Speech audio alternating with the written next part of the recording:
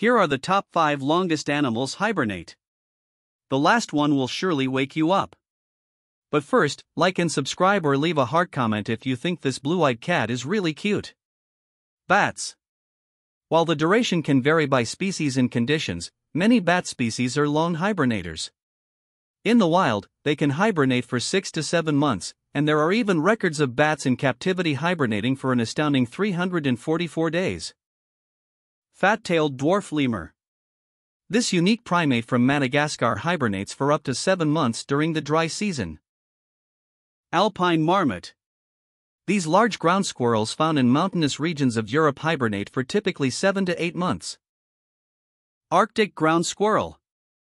These squirrels are incredibly resilient and can hibernate for a remarkable 7 to 8 months in the harsh Arctic and subarctic environments. Edible dormouse. These small rodents are often cited as having some of the longest hibernation periods, with some individuals hibernating for up to 11 months, especially if food is scarce.